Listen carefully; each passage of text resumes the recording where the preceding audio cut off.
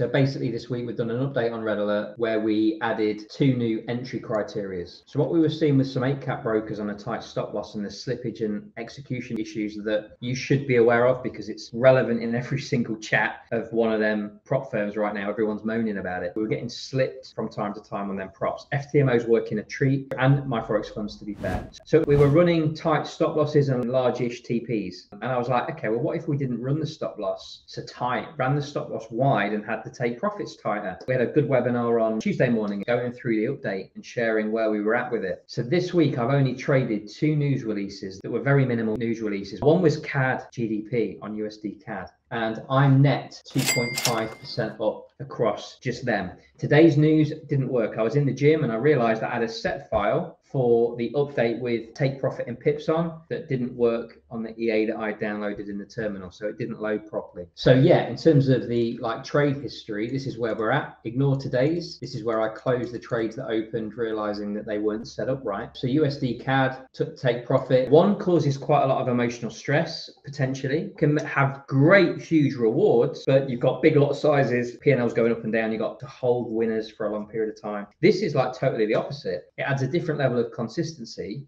a much higher win rate, not necessarily the most profitable if you can compare the two, but still very profitable. We've got lot sizes that cause zero emotional stress. Yes, we've got a little bit of open drawdown, but I could still close everything out for this week and be 2.5% up. I've only traded two news days. Add that into other strategies or accept the fact that next week we've got Jolts, NFP, a couple of big ones. We could have it away in two weeks, like Robin has, because he's had results play out today and he's 6% up, I think, just on this week too.